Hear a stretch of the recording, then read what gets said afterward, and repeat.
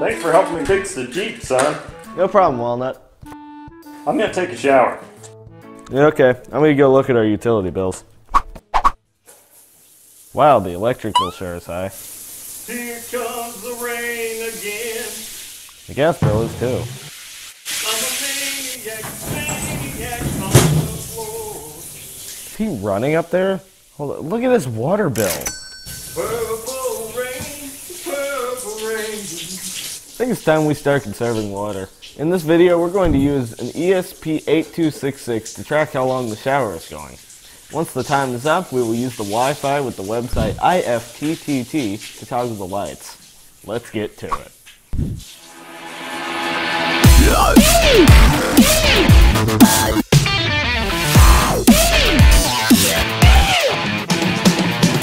This project is for Element 14's Project 14 Challenge.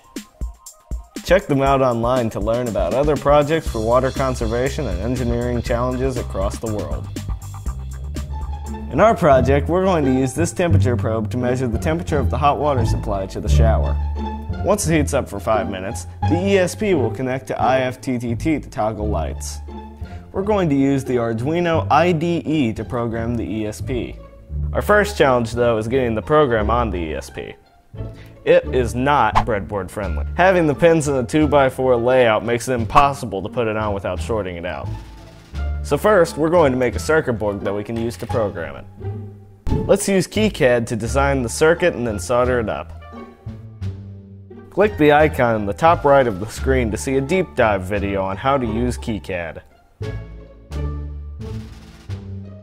We also have a deep dive video showing the making of the board. Now that we have the board to flash it, let's write the program.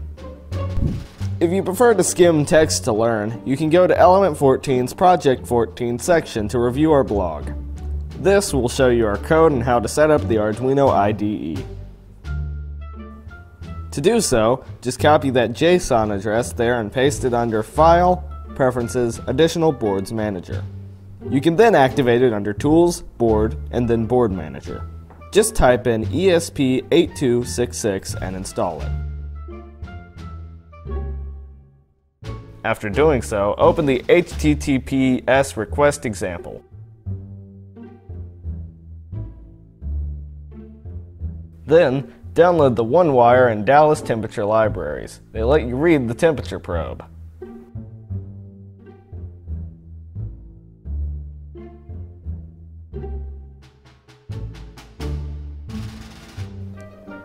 Once you locate it as shown here, just click Install.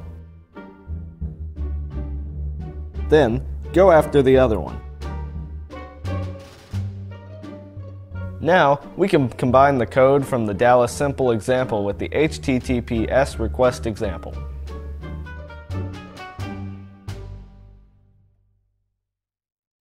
Again, you can get this code at Element 14's Project 14.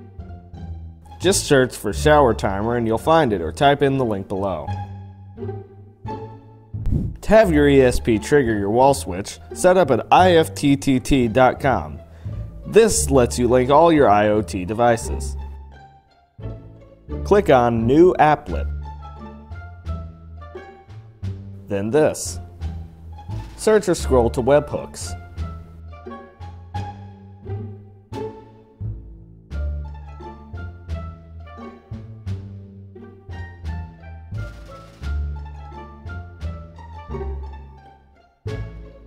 Now, click on that to find your light switch. We have a Wemo.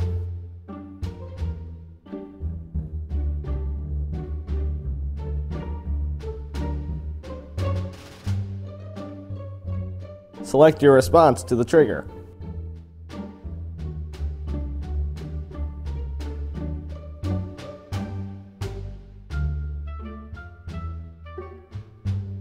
I'm going to rename it Flip to Shower Light.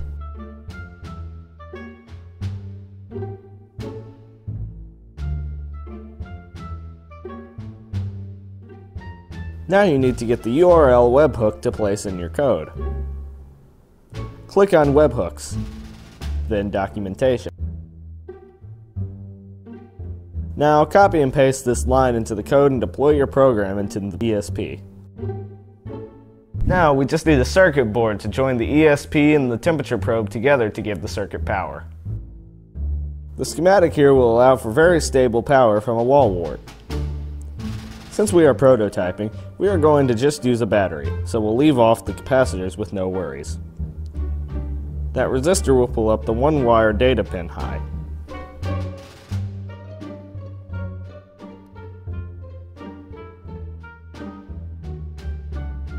So let's tape it to the pipe and try it out. I'm gonna wrap it with this insulating foam. I'm wrapping it with this insulating foam so it gives a better representative temperature. Now I'm gonna hook the battery to it. Should just be a couple more seconds.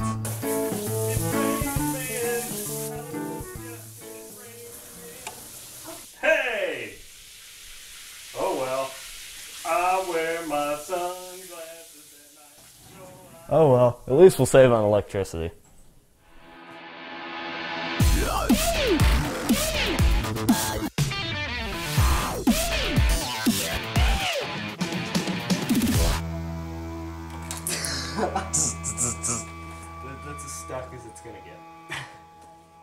That's good.